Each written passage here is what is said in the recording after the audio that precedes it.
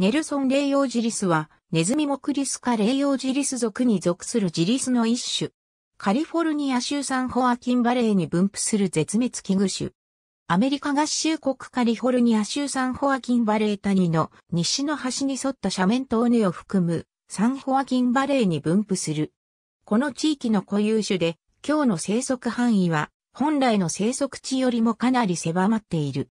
大規模な農地開発による生息地の創出と殺素材の使用とが合わさって絶滅危惧種に指定されるほどに個体数が減少した。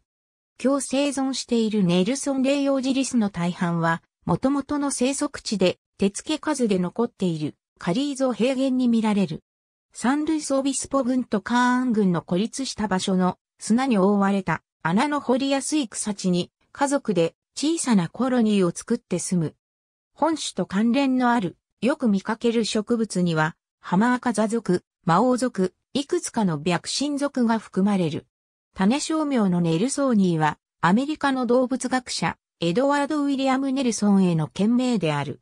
体長は、オスが約 249mm、メスが約 238mm。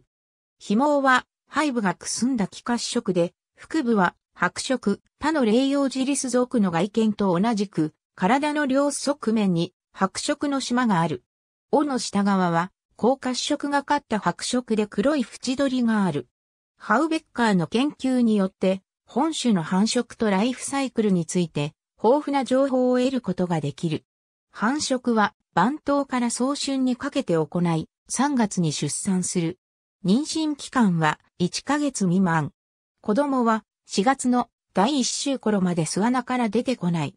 繁殖は年1回で、子供は1年のうち緑の植物が最も豊富な時期に生まれる。離乳は子供が地上に姿を現す前に始まっているか、すでに終わっている。一旦地上に出ると、子供は一人で食べ物を探し回るようになる。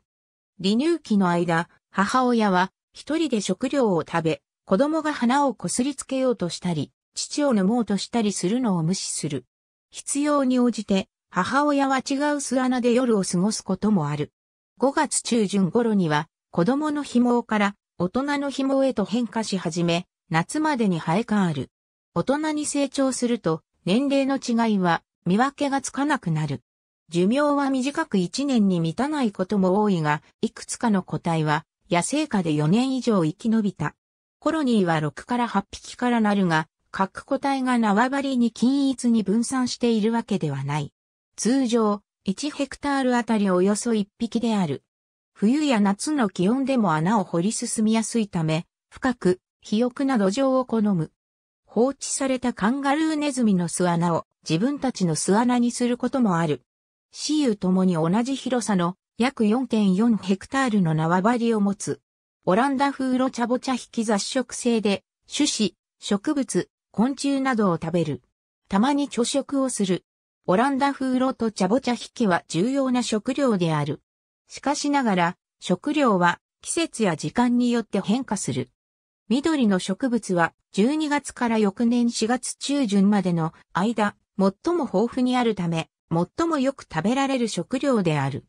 同様に、昆虫は4月中旬から12月にかけて豊富になり、食料の90%以上になる。種子は1年のうちほとんど食べることができるが、好ましい食料ではない。種子の方が豊富で手に入れやすい時でさえ、昆虫、または緑の植物を選ぶ。これは、熱く乾燥した気候を生き抜くために必要な水分が、昆虫や緑の植物により多く含まれることによると推測される。残念なことに、近くに豊富な水源はない。研究所の環境下では、彼らはすぐに水を飲むことができる。しかしながら、日陰で水のない状態でも、少なくとも7ヶ月は生き延びることができ、その7ヶ月後、彼らは比較的健康で全く痩せを衰えていなかった。ネルソン・レイヨジリスの王の裏側社会性がある。個別に縄張りの外に連れ出し、知らない土地に話すと、一人では動けず混乱してしまう。生息環境の厳しい暑さのため、日中は多くのエネルギーを消費しない。実際に直射日光の下では31摂氏32度という気温で死んでしまう。したがって日中の暑い時間帯にはほとんど活動しない。冬眠に関する証拠はないが、巣穴の中では寒さに悩むことはなく、氷点下の気温でも生き延びることができる。早起きではなく、通常日の出後までに見かけることはないが、真昼の暑さを避けて、朝と夕方に巣穴から出て食事をする。正午頃になると巣穴に消え、最も早くても午後2時頃までは姿を現さない。気候の穏やかな日には食料探しに時間をかけ、対照的に暑い日や寒い日には急いで食べ物を巣穴に持ち帰る。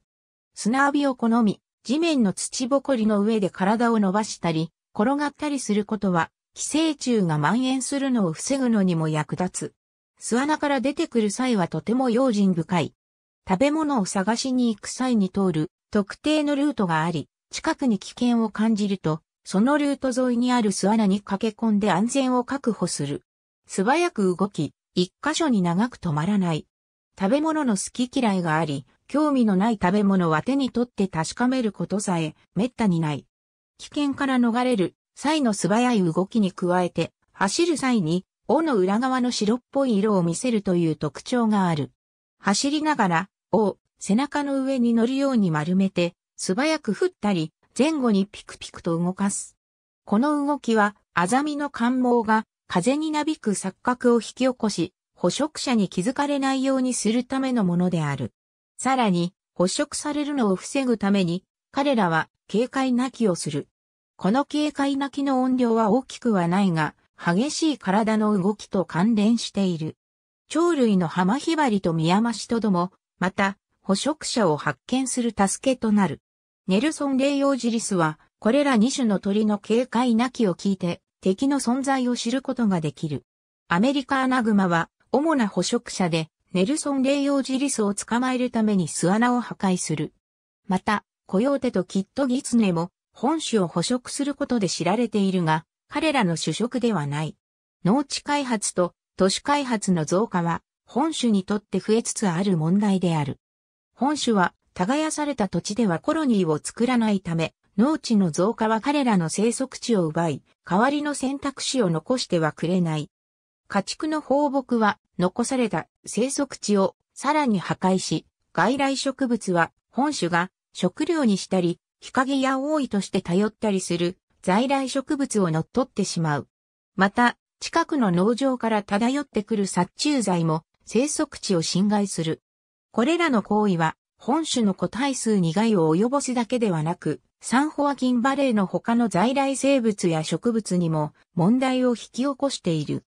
青イカのカーンマローエアマルケイパリー、キク科のサンホアキンウーリースレッツモナラピアコンダニー、アブラナ科のカリフォルニアジュエルフラワーコランサス、カリフォルニクス、そしてサボテンの一種のベーカーズフィールドカクタスオプンティア、バセラリスなどの在来植物は外来植物に追いやられており、すべてアメリカ連邦政府の絶滅危惧植物となっている。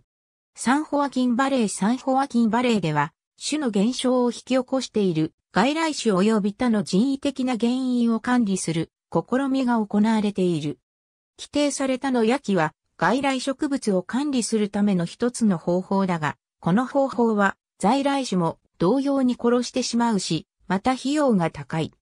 牛の放牧が土地に与える影響についての研究も行われており、土地に与える影響を減らす計画を発展させることができる。規定された放牧を使用する案は、他人の外来植物の成長を減少させるのに役立つ。他にも科学的、機械的な処置があるが、これらの方法は特に広い地域では時間と費用がかかる。また、除草剤の使用は風によって化学物質が拡散すると潜在的に生物種に悪い影響を及ぼす。合衆国魚類野生生物局は1998年に絶滅の危機に瀕する種の保存に関する法律10節において、セーフハーバー協定を使用する案を含む復旧計画を立てた。これにより、サンホアキンバレーの絶滅危惧種を管理する最も望ましい妥協案を決定するため、合衆国魚類野生生物局と農園の地主との連携が始まった。サンホアキンバレーでは絶滅の危機に瀕した在来種の数が増加しているため、複数の種を同時に保護する取り組みが重要である。生態系レベルでの管理は、すべての種の役割が考慮される。また、周辺住民の知識を高め、教育することは、保護への基金を増やし、計画の運営をさらに助けるだろ